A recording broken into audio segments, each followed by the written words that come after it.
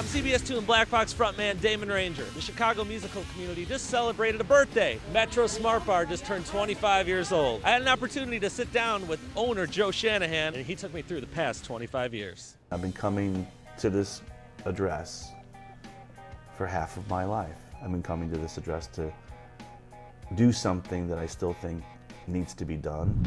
What was the first big show, the first, like the first major act, the first big thing that came to the Metro? REM.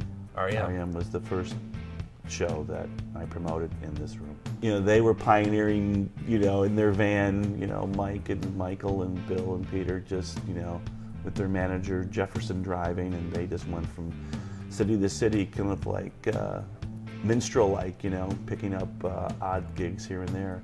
And it was actually a canceled show. It was a show that was supposed to happen at another club that had fallen apart. And I had met them in New York at uh, a friend's club called the Danceteria.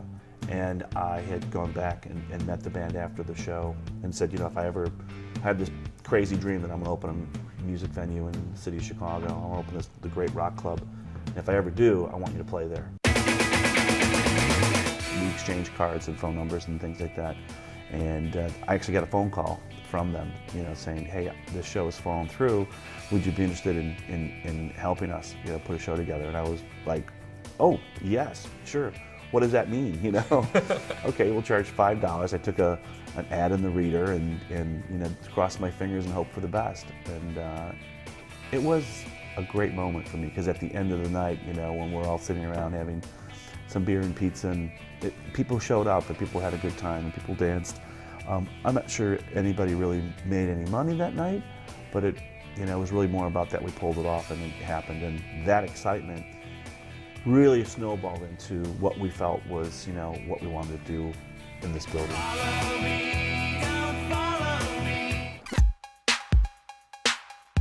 I've always looked to, you know, other musical scenes, you know, in around the world, to sort of um, maybe use as guideposts or as um, some the rails, so to speak, to keep this train sort of moving forward. We were doing DJ culture or DJ world, or you know, mm-hmm. in 1982 by bringing you know DJs from New York like Afrika Bambaataa and the Soul Sonic Force. That was the first DJ that we ever brought to Chicago to have perform. You know, I harken back to the idea that when Iggy Pop was sort of re-entering the music community um, in the 80s, you know, uh, he picked Metro as the place to sort of, you know, go.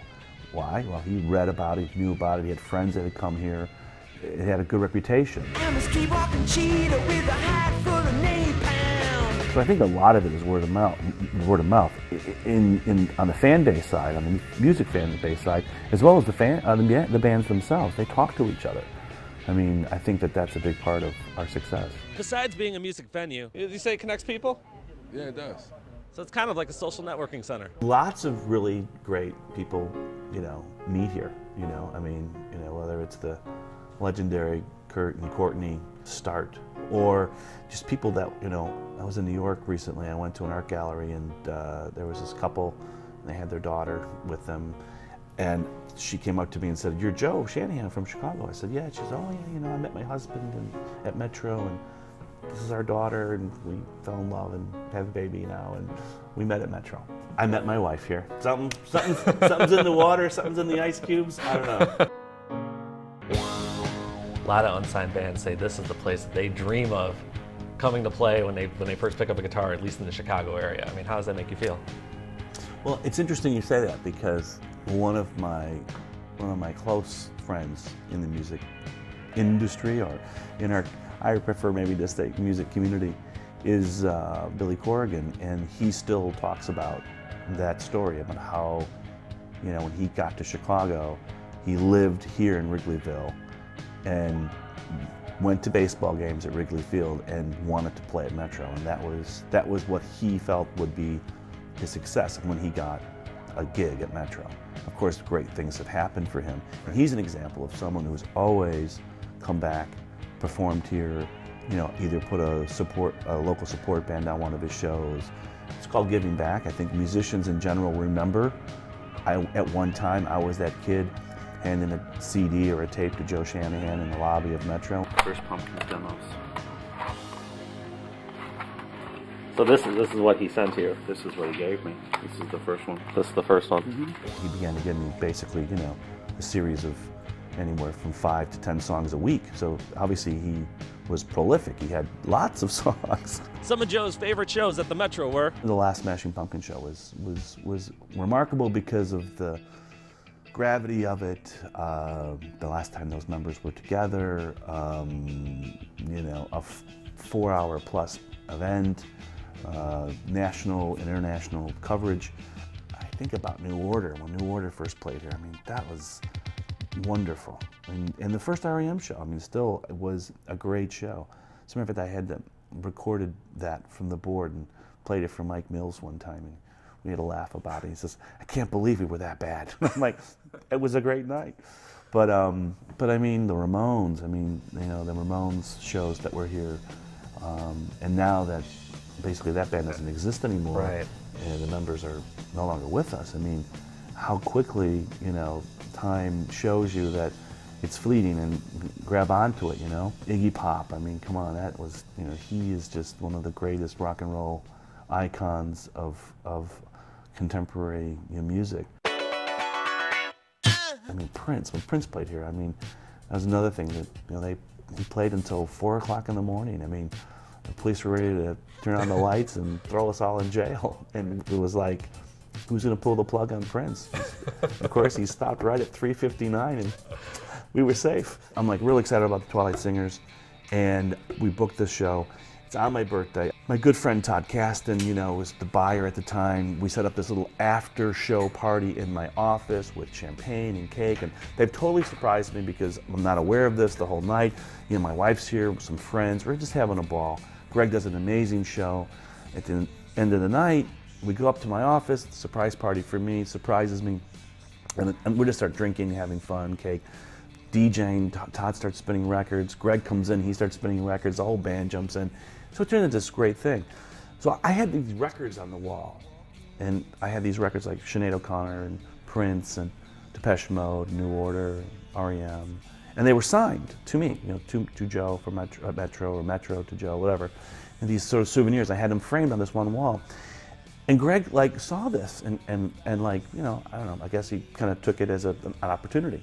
So Monday morning when I come in, he has, he has, he has written on the wall, hey Joe, where the f- is my album? How come you've never asked me for my autograph? And I stood there, it was like, you know, it was like the birthday's done, the dust is settled, show was over, and I'm standing there Monday morning, 8 o'clock, by all by myself in my office. And they stand there, I just burst out laughing. I was laughing hysterically until like the building manager basically said, Are you okay? I was like, Do you see what this guy did? He just wrote on our walls.